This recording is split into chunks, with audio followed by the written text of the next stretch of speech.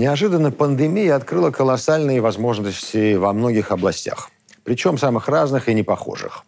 Служба заказов и доставок, работа онлайн для учителей, инструкторов по йоге и лекторов, ресурсы, позволяющие художникам продавать свои работы, онлайн-концерты музыкантов и так далее и тому подобное. Дмитрий, здравствуйте. Здравствуйте. А как э, театр пережил и переживает э, последствия карантина? Как обстановка? Я думал, вы спросите, как я разношу пиццу или инструктирую йогу. Э, да никак. Это все... Не знаю, у меня абсолютно пессимистический взгляд на то, что происходит в смысле театра, если через театр сюда смотреть, да и вообще. Потому что из-под театра впервые за вообще, сколько он существует, пять тысяч лет, выбили то, что никто не думал, что это есть э, основная его... Думали там э, цензура или что-то еще, может его как-то закрыть, принизить. А нужно просто не разрешить собираться людям вместе. Вот и все. Э, просто и все. И его нету. Его просто смели, он так скатился, как крошки со стола. И люди живут совершенно другим, и можно без него вот уже много месяцев и все, что происходит, его замещает как бы в интернете, на мой взгляд, это что-то другое. Это может быть хорошо или плохо, но это другое, просто другое. Я не хотел бы этим заниматься, пока не понял бы, что э, ну, к тому возврата нету. Сейчас еще какая-то маленькая щелочка открылась, что можно репетировать хотя бы. Поэтому как он переживает, по-моему, плохо все это бодрячество, что мы тут же перейдем в интернет. Это все так сказать, пляски, ну, может быть, не на похоронах, но в период комы. А, наша программа перестала выходить в эфир с марта. И сейчас это, это первые, первое? первое, первые дни. Ну, это вот именно самое не первое, но вот буквально Я одна горжусь, из первых. что вы меня после позвали. полугодового Спасибо. Ну, и у нас нет ощущения, что мир рухнул. Да, мы полгода занимались другими делами. Я понимаю, что... Ну, вы писали хорошие картины, э, а э, я, к сожалению, э, или к счастью, не знаю, как сказать, это бросил давно. И возврат туда, мне, мне было стыдно начинать. Я тоже это начал. Потому что, ну, театра нет, все идеи я уже написал, я не знаю, актеры где-то там. Ничего нету, просто ничего нету. Ну, как врач без инструментов, а если он не э, таиландский какой-то кудесник, который пальцами может делать, э, он сидит просто.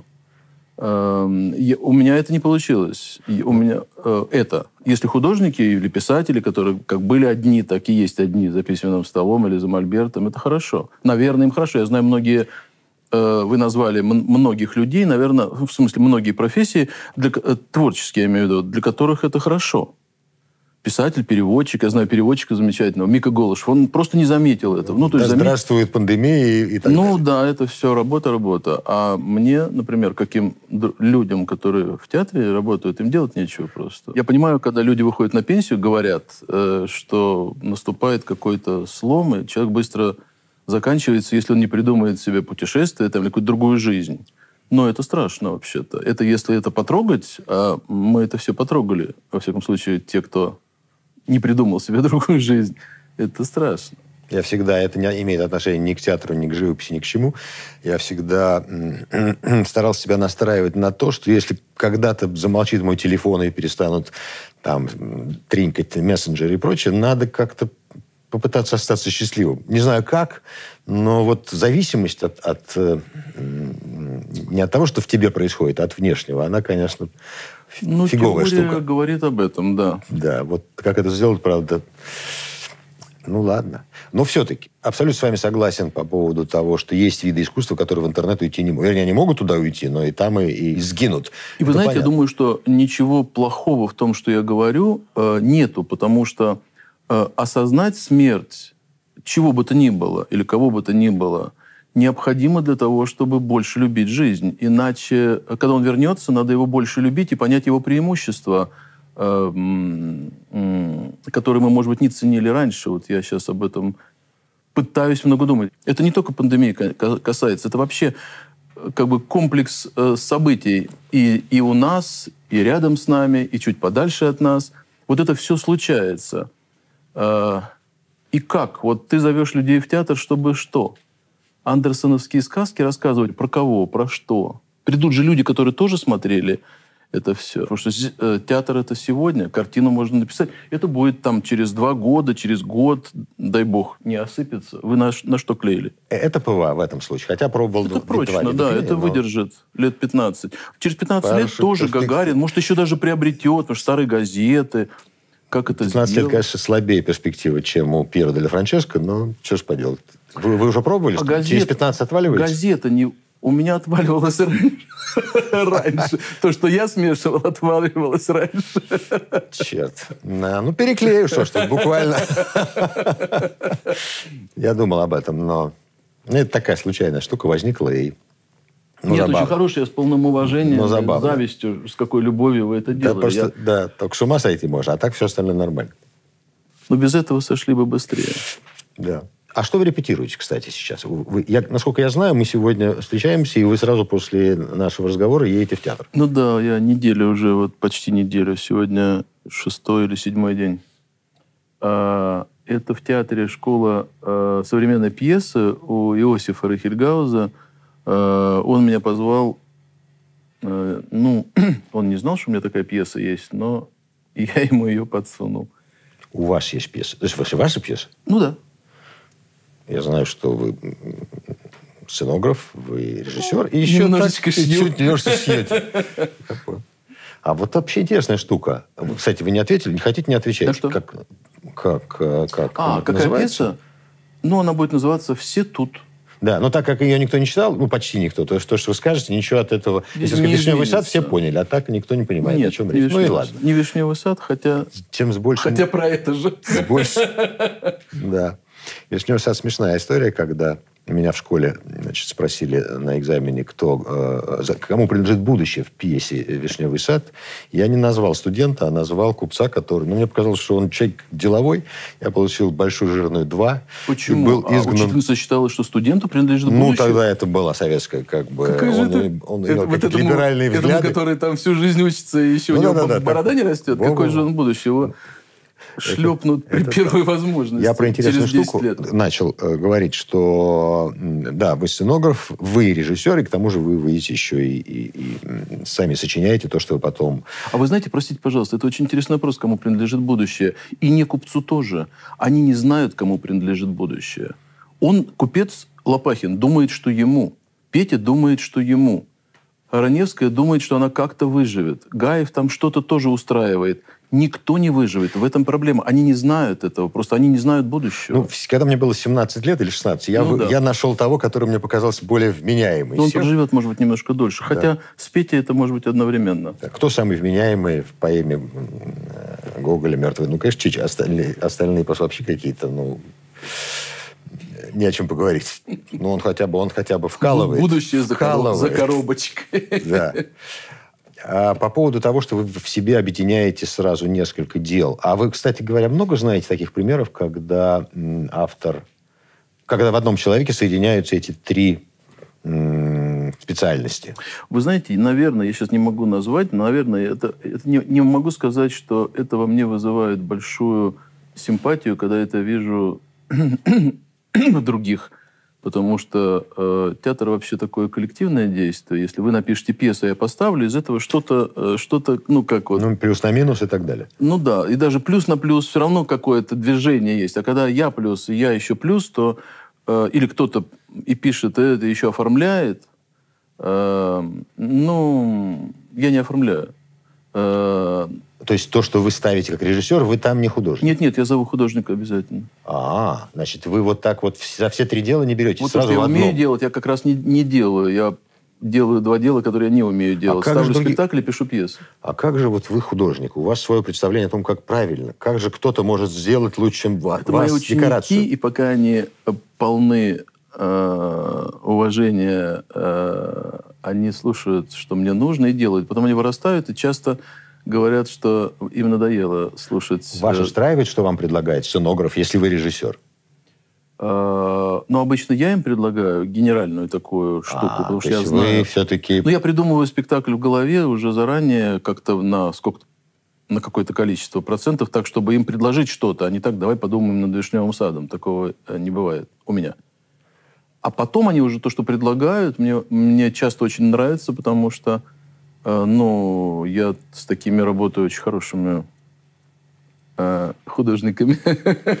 Хорошими, но все равно другими. Вот я бы сказал кому-нибудь, наклей там десяток газеток, я бы, наверное, задушил его, потому что он точно бы не те наклеил. А это индивидуально, э, индивиду, индивидуально пошив, инт-пошив. Uh-huh. А то вот как раз там и происходит. Они предлагают многие вещи, до которых я э, не дошел бы, потому что, у меня, ну, когда что-то делаешь, то в смысле, как режиссер, то ну, ты как трактор должен вот эту просеку прорубить, а направо-налево иногда не хватает времени и сил даже смотреть а они рядом идут и э, делают из этой грубой просеки, помогают сделать из этой грубой просеки с поваленными деревьями, э, ну, какую-то такую, ну, эстетическую э, вещь.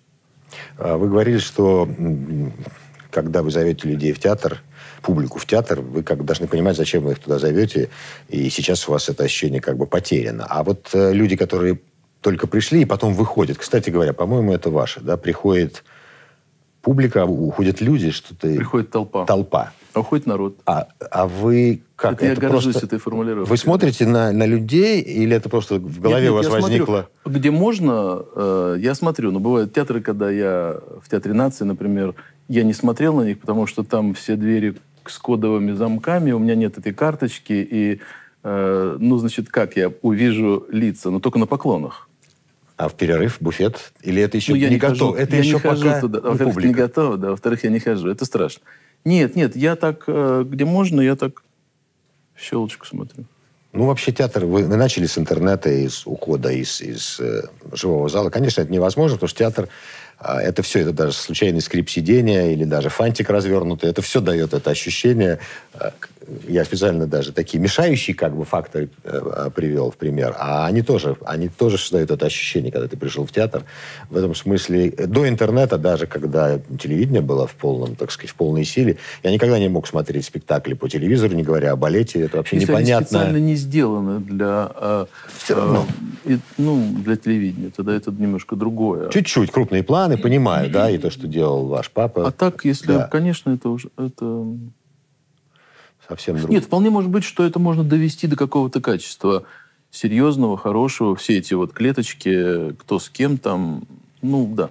Можно, все можно довести до качества. Ну, слушайте, если из газеты можно Гагарина сделать, то, конечно, можно и из интернета что-то сделать э, хорошее, потому что это инструмент, это просто, ну, возможности. Наверное, можно. Было бы, было бы что и придумать как, вот. Но заменить это театр... Прямую не переводится, да. Согласен. Конечно. Но э, я очень рад, знаете, какому обстоятельству? Начали вы просто совсем пить. Я думал, что же мы будем дальше с вами делать, когда театр умер, и все. И вы даже были встать и уйти. Или свет погасит. Но, тем не менее, все-таки разговор получился, и мне кажется, в нем есть какое-то оптимистическое начало. Ну, во-первых, вся эта дребедень должна, конечно, закончиться, так или иначе.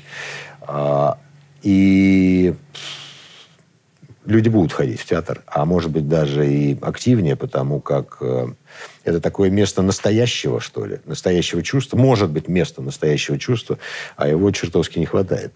Это не пессимистическое заявление было. Это Э, ну, чтобы дойти до, ну, надо дойти до пола в, в этих чувствах, что э, его можно потерять. Ну, мы же вот э, всю жизнь я, другие люди работаем в театре, ну, как бы приходим, уходим, как бы, ну, так получилось.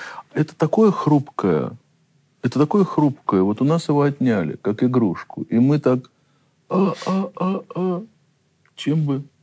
Ну, музыканты же нет. так, а исполнительское искусство тоже точно так же Э, да, у них скрипку не отнимают. Правда, концерт, э, концерт, концертов не было. Я думаю, что они также страдали. И балетные, и оперные, конечно. Еще. Это плач Димы Бертмана по, по, по, когда я его слышу, я так понимаю. Где-то, кстати, я видел его пост, что ура, мы открываемся. Или мы открылись. Буквально на днях. Они тоже открываются, только, mm. слава богу, им разрешили хор а какие же оперы там без, без хора? У всех да. свои, э, свои сложности. А вы не пробовали репетировать э, онлайн? Репетировать хотя бы. Ну что так, чтобы дело шло. Я, да, я четыре месяца по, по, по Zoom я преподавал моим любимым студентам, которых я набрал. И это был второй семестр первого курса. Мы только успели э, к друг другу как-то, э, ну, не знаю, получать удовольствие от общения. И вдруг в клеточках так.